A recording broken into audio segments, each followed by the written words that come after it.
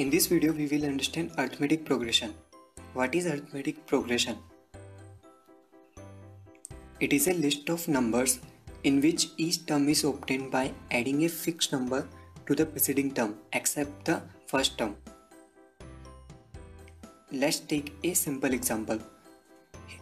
Here you can see that every term is obtained by adding 2 in previous term like 4 plus 2 is 6, 6 plus 2 is 8 and 8 plus 2 is 10 and so on.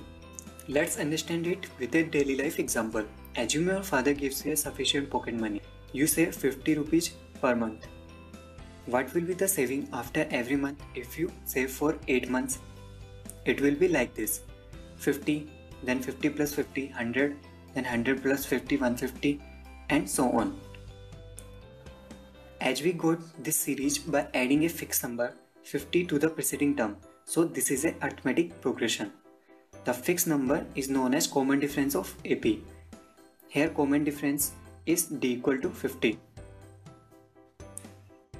Note down that in arithmetic progression common difference D can be positive, negative or 0.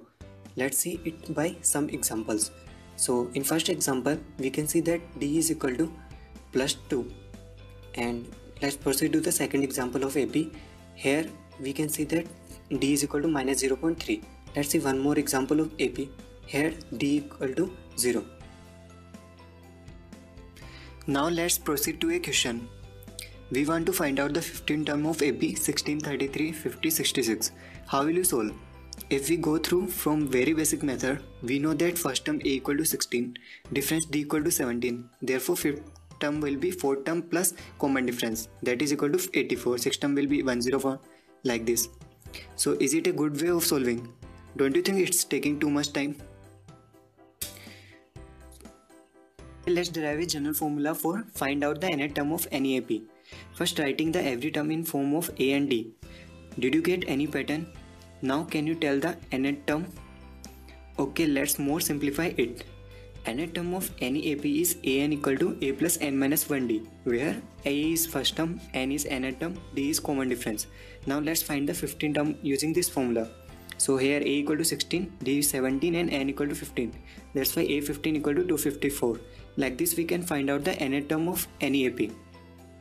Here are some notation used in AP.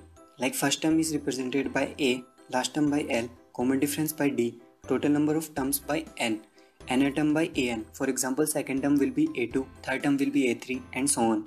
And sum of first n terms by sn. Let's understand it with an example. Here we can see that difference between every two consecutive terms is 5. That's why this, this is a arithmetic progression where common difference d equal to 5, first term a equal to 10, last term l equal to 35, total number of terms n equal to 6. We can also represent second term a2 equal to 15, a3 third term equal to 20, a4 fourth term equal to 25 and so on. Now let's proceed to the sum of first n terms of AP. For example, your father gives you pocket money every month starting from 100 rupees and increases by 50 rupees each month. Like first month 100, the next month he gives 150, next 200 and so on. If anyone asks what will be the total money after 12 months will you have, how will you do? As you can see that common difference is same between each consecutive term so this is a arithmetic progression. Total money after 12 months will be 100 plus 150 plus 200 plus so on which will be lengthy to add each term individually. So let's draw formula for it. Let's assume a general AP A A plus D A plus 2D A plus 3D and last term A plus n minus 1D. Sum will be s equal to sum of all these terms. Let it call equation 1. Now let's rewriting the terms in reverse order. Then we will get s equal to this on adding 1 and 2 term wise like first term of equation 1 in first term of equation 2 and so on. Then we will get every time 2a plus n minus 1d. That's why 2s equal to n times 2a plus n minus 1d. Therefore s equal to n by 2 2a plus n minus 1d. So this is our formula for calculating sum of first n terms of AP. So we know A and D then we can calculate by this formula easily. Like in above example A is 100, D is 50, N is 12.